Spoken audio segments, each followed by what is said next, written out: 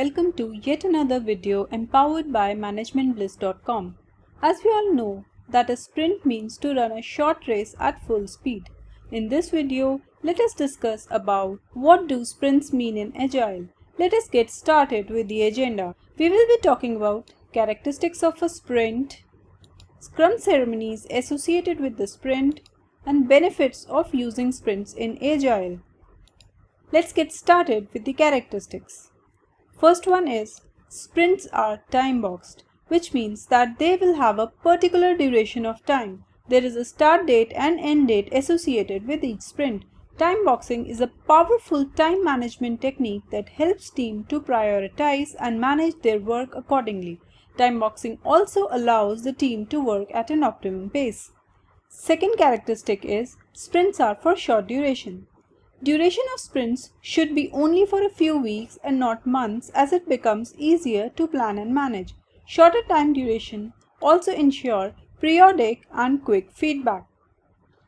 Next characteristic is that sprints should have a consistent duration. Along with short duration, sprint ensure consistent duration for all sprints. If the team decides on a two-week sprint, then all sprints in the product development life cycle should only be for two weeks. This rule should always be followed unless there is a solid reason to break it.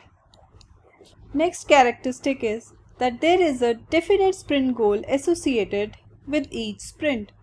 Each sprint defines a goal that states the business purpose and value of the sprint. The sprint goal once decided should not be changed. Sprint goals induce mutual commitments in the team.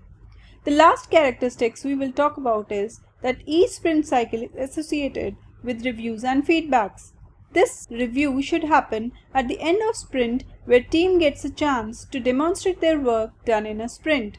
With that we will be moving on to the scrum ceremonies associated with the sprint. First one is sprint planning.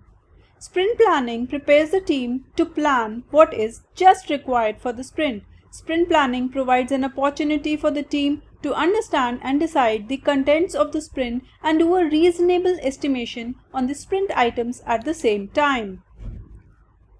Next is daily scrum. Once the sprint starts, the team meets daily for a minimum duration to discuss how things are going and if any impediments need to be resolved.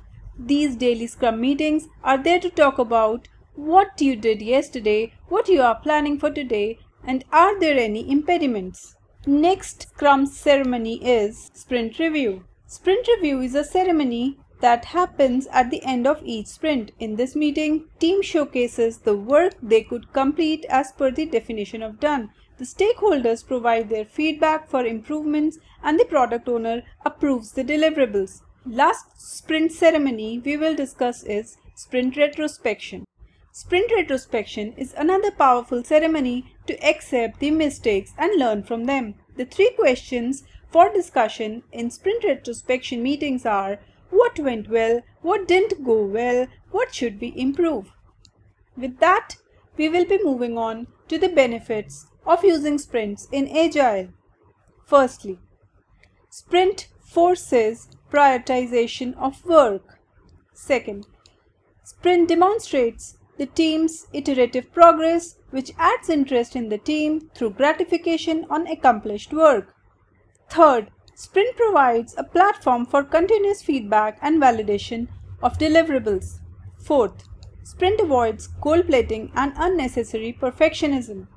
Fifth, sprint improves the predictability of the team on what they can accomplish shortly. Sixth, through sprints, team learns to work at an optimum pace, which saves the team from days of boredom and overload. Seventh, sprints make team understand the importance of mutual commitment, which is beneficial for business and growth. That's all in this video. Hence, we can say that sprints are Agile's way of organizing work into iterations. Thank you.